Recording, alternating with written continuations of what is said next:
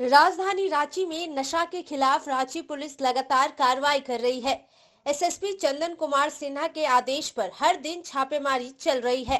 शुक्रवार को एसएसपी को मिली गुप्त सूचना पर कार्रवाई करते हुए अरगोड़ा थाना की पुलिस ने चार सप्लायर को पकड़ा है। गिरफ़्तार सभी लोग ब्राउन सुगर और ब्लैक स्टोन नामक नशे का सामान युवाओं को बेचते थे। आज सिटी एसपी राजकुमार मेहता ने इस मामले को लेकर प्रेस वार्ता कर पत्रकारों को जानकारी दी।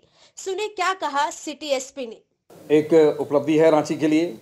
वरीय पुलिस अधीक्षक के द्वारा जो है लगातार जो है सभी थाना प्रभारी को निर्देशित किया गया कि शहर में किसी भी तरह से जो है वो ड्रग्स और अफीम की जो है वो कारोबार नहीं चलेगा। उस सिलसिले में आज चार लोग जो हैं वो गिरफ़्तार हुए हैं, जिनके पास में एक ब्लैक स्टोन ड्रग्स जो है वो दो व्यक्तियों के पास से रिकवर्ड है और दो व्यक्तियों के पास से जो है ब्राउन शुगर की 21 पुड़ियाँ हम लोगों ने बरामद किया है।